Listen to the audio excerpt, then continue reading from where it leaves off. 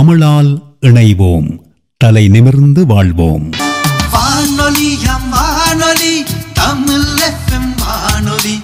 நூற்றி ஒன்று தசம் ஒன்று தமிழ் வளர்க்கும் வானொலி. வானொலி வானொலி தமிழ் எஃப்எம் வானொலி. நூற்றி ஒன்று தசம் ஒன்று தமிழ் வளர்க்கும்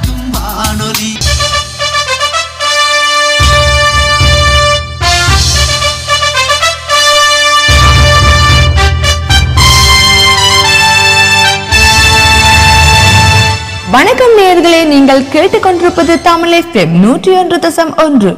உலக வான்பெருப்பை வட்டமிட்டு உங்கள் இல்லம் தேடி வருகிறது தமிழ் எஃப்எம் நூற்றி ஒன்று தசம் ஒன்று. உங்கள் இல்லக்கதவுகளை ஊடறுத்து உங்கள் இதயத்தை தாளாட்ட வருகிறது தமிழ் எஃப்எம் நூற்றி ஒன்று தசம் ஒன்று. கேட்டு மகிழுங்கள்.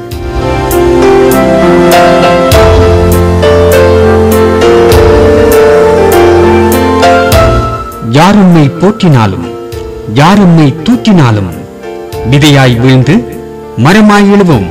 அதுவே தமிழ் எஃப்எம் நூற்றி ஒன்று தசம் ஒன்று. கேட்க தவறாதீர்கள். தமிழ் எஃப்எம் நூற்றி ஒன்று தசம் ஒன்று.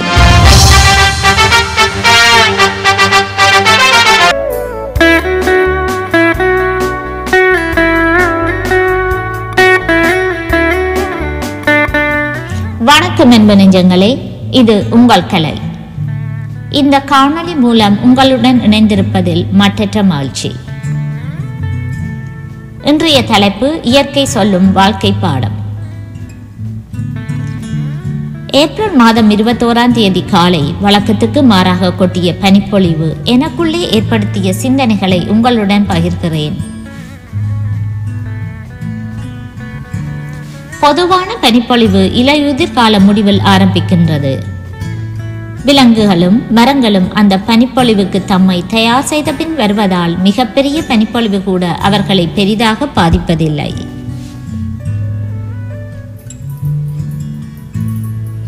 மாறாக இளவேனிற் காலத்தில் ஸ்பிரிங் டைமில் வரும் பனிப்பொழிவு இயற்கைக்கு பெரும் சவாலே.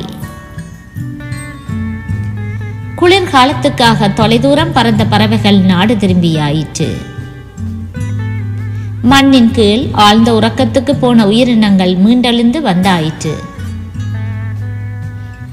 தன்னுள்ளே உறைந்த மரங்கள் துளிர்கள் விட்டு வசந்த காலத்தை வரவேற்க தயாராகி ஆயிற்று. இந்த பொழுதில் நிகழ்ந்த பனிப்பொழிவு. மரத்தின் இளந்துளிர்கள் பனியில் உறைந்து நின்றன. பூமியில் இருந்து மெல்ல எழுந்து வந்த புற்கள் பனியில் மூழ்கி போயின. இதில் பல துளிர்கள் புற்கள் மீண்டலும் சில துளிர்கள் கருகி உதிர்ந்தே விடும். இதைக் கண்டு எந்த மரமோ புல்லோ கவலைப்பட்டதாக தெரியவில்லை. பனியில் உறைந்த நான் அவ்வளவு அழகாக துளிர்விட்டேன். குளிரில் இறுகிய நிலத்தை பிளந்து வந்தேன். இந்த காலநிலை தப்பிய பனிப்பொழிவு எனக்கு இவ்வளவு கஷ்டம் தந்துவிட்டதே. என் முயற்சிகள் முடங்கிவிட்டனவே என எந்த மரமோ புல்லோ கலங்கி நிற்கவில்லை. மீண்டும் மீண்டும் துளிர்விட்டு பச்சிலைகள் பரப்பி வண்ண பூக்கள் காய்கள் கனிகள் என காட்டில் அசைந்தாட அது தன்னை தயார் செய்கிறது. பச்சை கம்பளம் விரிப்பதொன்றே என் நோக்கம். ஆரம்பை தடுப்பதென புற்கள் மீண்டும் மீண்டும் முளைக்கத்தான் செய்கிறது இப்புவி மேலே. இளவேனில் வந்ததென மீண்டும் நாட்டிற்கு பல மைல்கள் தாண்டி வந்த பறவைகள். எங்குதான் போக முடியும்? இந்த கடின நேரம் முடியும் என்ற நம்பிக்கை தந்த உரத்தில் நாளைய நினைத்து இன்றைய கஷ்டத்தை துணிந்து எதிர்கொள்கின்றன என்றும் அவை தம்மை நொந்து கொள்ளவில்லை.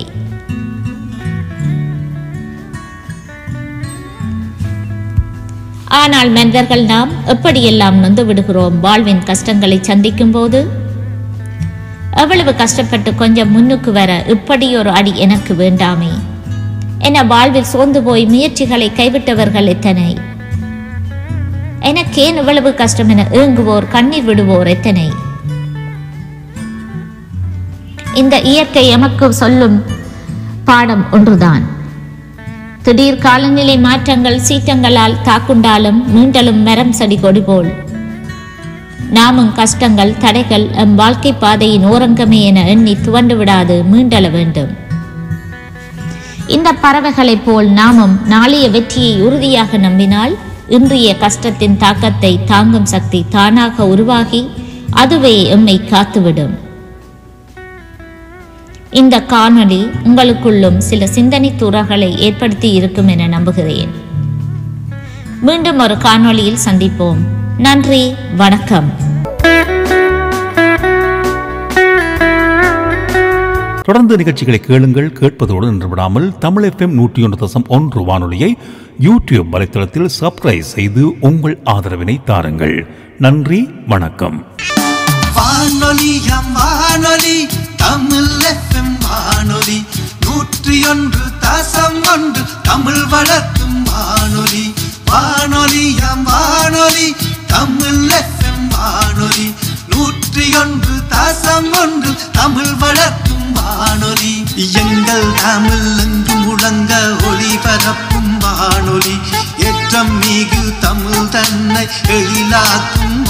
வானொலி. எட்டு திக்கும் தமிழ் முழங்க உதித்ததந்த வானொலி. வான்புகழ் வள்ளுவனின் வண்ண தமிழ் வானொலி. வானொலி எம் வானொலி தமிழ் எஃப்எம் வானொலி. நூற்றி ஒன்று தசம் ஒன்று தமிழ் வளர்க்கும் வானொலி. வானொலி எம் வானொலி தமிழ் எஃப்எம் வானொலி. உலகத் தமிழர் உள்ளத்தையே கவர்ந்தறிந்த வானொலி. பாடல் கதைகள் கவிதை என தருகின்ற வானொலி. தலை வணங்கான் தமிழன் என எழுச்சி கொண்ட வானொலி. சங்க தமிழை வானலையில் வர்ணம் தீட்டும் வானொலி. வானொலி எம் வானொலி தமிழ் எஃப்எம் வானொலி. நூற்றி ஒன்று தசம் ஒன்று தமிழ் வளர்த்து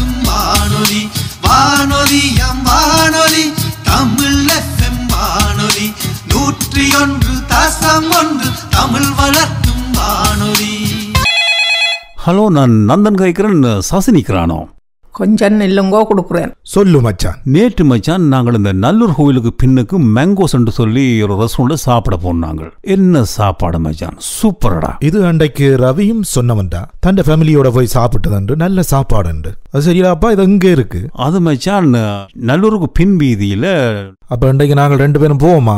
இன்றைக்கு இல்லை மச்சான் இன்றைக்கும் நான் ரெடி